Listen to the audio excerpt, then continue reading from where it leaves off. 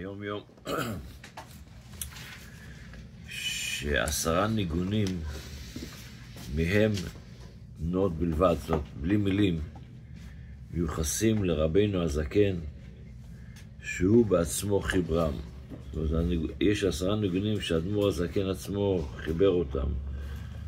מפורסמים שבהם זה הניגון קהיליאטה, ניגון רבינו מלכנו, יש עשרה ניגונים שהאדמו"ר הזקן היה המחבר שלהם.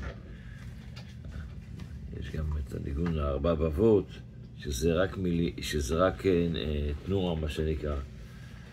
אז זה מיוחס לאדמו"ר הזקן. יש אבל ניגונים ש... מי שלימד אותם, או שמייחסים אותם לאדמו"ר האמצעי. אבל הוא לא, הוא לא היה קומפוזר, הוא לא היה זה שחיבר את הניגונים, אלא הוא, בזמנו, היינו שנתחברו בזמנו, והיו מנגנים אותם לפניו, אבל לא שהוא היה מחברם. למה? אלא הייתה אצלו קבוצת הקפליה, מה שנקרא, הייתה אצלו קבוצה של, אה, בקהילה, קבוצת אברכים מנגנים, והידועה בשם הקפליה של האדמו"ר האמצעי, ונחלקה לשני קבוצות. חלק מהם היו בעלי שיר בפה, היה להם קול יפה, ויש כאלה שהיה להם יכולת לנגן בכלי נגינה. אז זה ההבדל בין השירה של אדמו"ר הזקן לשירה של אדמו"ר האמצעי. יש עניין גדול בשירה בחסידות, אז הרב נתייחס לעניין הזה גם כן.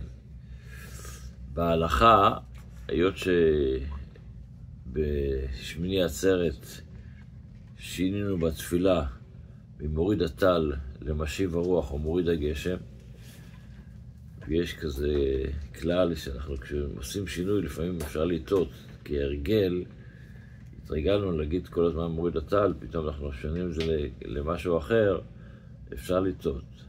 אז מה קורה אם אחד טעה ואמר מוריד הטל במקום משיב הרוח או מוריד הגשם? אז אינו צריך לחזור, הוא לא צריך לחזור על התפילה עוד פעם אחד כי הוא טעה פה, כי גם הזכרת מש... אה, הטל, גם היא. אותו שבח כמו מוריד הגשם. כי הגש, גם הגשם נותן חיים וצמחייה, וגם הטל. אז לכן לא צריך לשנות, לא צריך לחזור. אבל אם קרה שהוא לא אמר את שניהם, שכח להגיד בכלל, לא מוריד הטל ולא, מוריד, ולא משיב רוח מוריד הגשם, אז אם הוא נזכר לפני שאמרנו את מחיי המתים, אז יגיד שם, לא יחכה. אבל אם הוא התחיל, אתה קדוש, אז צריך לחזור לתחילת התפילה, כי כל שלושת הברכות הראשונות הן כאילו ברכה אחת. בתפילה עצמה, אנחנו בברכות קריאת שמע, ואנחנו בקטע פינות צבאיו קדושים או מי שדי, תמיד מספרים כבוד אל וקדושתו. אז מה זה פינות צבאיו?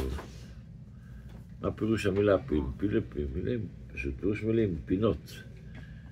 אז פינות פה הכוונה היא כמו אבן פינה. אבן פינה זה, זה מכובד. פינות צבב זה המכובדים שבמלאכים.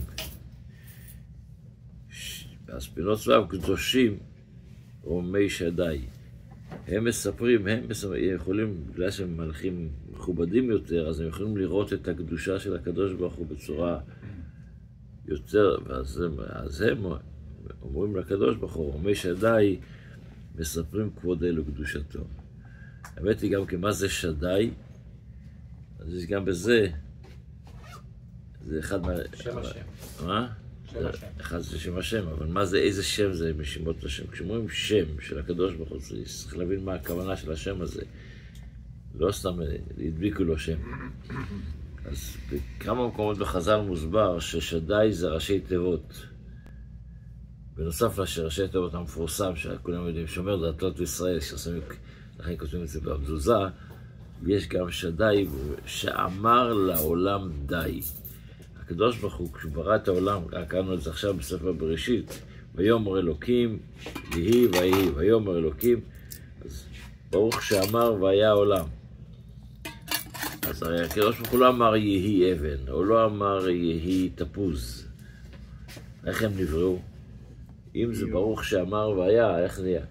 אז זה מוסבר שמתוך ה-27 אותיות, או יותר נכון 22 אותיות, שיש לנו ב, ב, בלשון הקודש, אפשר להרכיב עכשיו כל המילים שבעולם. בצירופי אותיות, חילופי אותיות, יש הסבר שלם על כל, על כל ספר יצר המוסבר הנושא הזה באריכות. אז יש מצב שהקדוש ברוך הוא אמר די, תפסיקו ליצור מילים חדשים, או יצירה חדשה. זה נקרא שהגבול הזה שמגביל את המשך הבריאה זה רוממי שדי. והם מספרים את, את זה גם, גם זה עצמו שהקדוש ברוך הוא עצר פה, ואמר עד כאן צריך ואין לו יותר, זה עצמו חלק מהעניין. וגם אנחנו, השבח הזה שאנחנו צריכים, כדי להביא את הגאולה, צריך לשבח את הקדוש ברוך הוא כל הזמן. הרי אנחנו יודעים שהקדוש ברוך הוא ביקש, הקדוש ברוך הוא לעשות את יחזקאל משיח. אה, סליחה, את חזקיהו משיח. למה הוא לא מסע אותו? עשה לנו נס גדול שם עם, עם, עם אה, נבוכדנץ, עם אה, סנחריב, עם הנס הגדול שכולה, שלא קמו בבוקר, עם כל הסיפור שאנחנו כולנו מפורדים. כי הוא לא שיבח את הקדוש ברוך הוא. עצם זה שלא שיבח את הקדוש ברוך הוא זה חיסרון בהוויית הגאולה. אנחנו רואים ניסים, וברוך השם רואים הרבה ניסים, שהקדוש ברוך הוא ימשיך לתת לנו ניסים. אבל נדע גם לשבח את הקדוש ברוך הוא, ובזה נזכה לגאולה, שזה יהיה מיד. אמן.